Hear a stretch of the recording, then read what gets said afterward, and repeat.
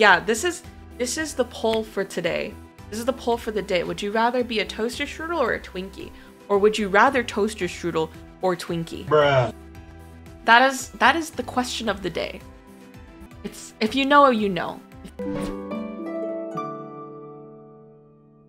Perfect. Looking good. On my stream, you're on my head. Good.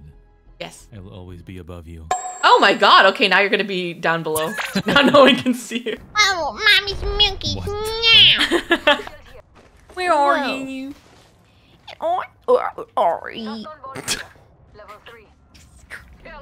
We're coming. Not our daddy. Here I come. What the fuck? Ah!